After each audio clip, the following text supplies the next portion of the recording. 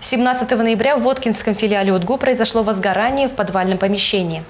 В результате короткого замыкания светильника, расположенного в подвале здания, произошло возгорание. Завхоз э, быстренько среагировал, побежал туда, увидел задымление. Пожарная часть приехала вовремя. Людей 63 студента и 27 сотрудников тоже вовремя эвакуировали. Следует отметить оперативность и слаженность действий сотрудников пожарной службы. Благодаря этому удалось не допустить пожара, возгорание было потушено мгновенно.